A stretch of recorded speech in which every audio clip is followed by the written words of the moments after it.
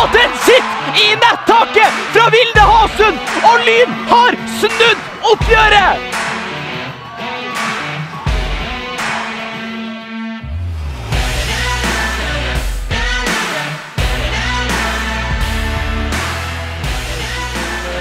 Bakke og Melhus, er det Melhus som er igjennom? Og så nå på